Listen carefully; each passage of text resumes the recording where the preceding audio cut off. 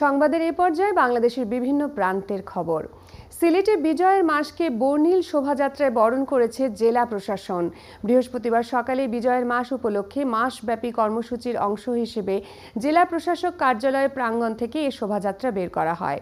শোভাযাত্রাটি নগরীর প্রধান সড়কগুলোকে প্রদক্ষিণ করে শহীদ মিনারে গিয়ে শেষ হয়। এ সময় উপস্থিত ছিলেন সিলেটের বিভাগীয় কমিশনার ডক্টর মুহাম্মদ মোশাররফ হোসেন, সিলেট রেঞ্জের ডিআইজি মোহাম্মদ মফিজ উদ্দিন আহমেদ, সিলেট মেট্রোপলিটন পুলিশের পুলিশ কমিশনার মোহাম্মদ নিসারুল আরিফ সহ আরও অনেকে। শোভাযাত্রায় সকল সরকারি দপ্তরের কর্মকর্তা, কর্মচারী, সাংবাদিক, রাজনৈতিক নেতাকর্মী ও স্কুল কলেজের শিক্ষক শিক্ষার্থীরা সহ বিভিন্ন শ্রেণি, পেশার মানুষও অংশগ্রহণ করেন।